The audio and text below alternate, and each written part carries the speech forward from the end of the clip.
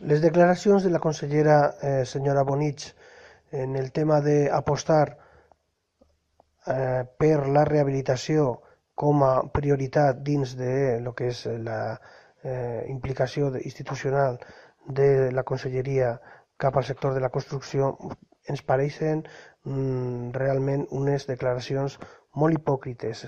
Estem parlant d'una consellera que pertany a un partit com és el Partit Popular que ha prioritzat durant més d'una dècada la construcció de vivenda nova, de promocions noves i la urbanització massiva de milers i milers de metres quadrats, de milers i milers de, en molts casos, de sol de gran qualitat eh, agrícola.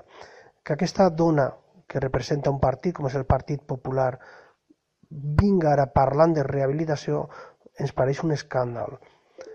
Ens pareix un escàndol perquè és precisament Esquerra Unida del País Valencià la que sempre, la força política que sempre ha defensat per damunt de tot el model de la rehabilitació i ho ha defensat i ho hem defensat en plena bombolla immobiliària. Sempre ho hem defensat. Per a nosaltres és una prioritat per, per molts motius, perquè estem parlant, evidentment, de la posada en valor dels nostres nuclis urbans, estem parlant, a més a més, de vivenda vella, de vivenda que està normalment en mans de gent major, o d'immigrants, o de col·lectius desafavorits o de classe treballadora.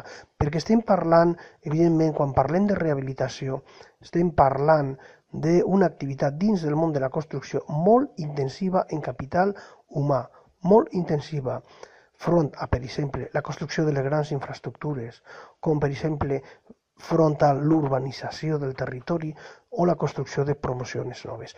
Aquesta activitat, la rehabilitació, és una activitat molt prioritària, molt intensiva en el capital humà i a més a més normalment en gent en qualificació. Estem parlant d'especialistes, no estem parlant de gent que normalment va eh, a destajo, sinó que estem parlant eh, d'electricistes, de pintors, de fusters, etc. Gent en molt, eh, molt especialitzada o un, en un cert eh, nivell d'especialització. Per tant, per a nosaltres ha sigut la prioritat sempre la rehabilitació, no per al PP. Ara se'n recorda, se'n recorda quan la veritat és que fa 10-12 anys van anar eh, van eh, anant minvant poquet a poquet totes les ajudes, totes les subvencions que anaven donant eh, a aquesta activitat com és la rehabilitació.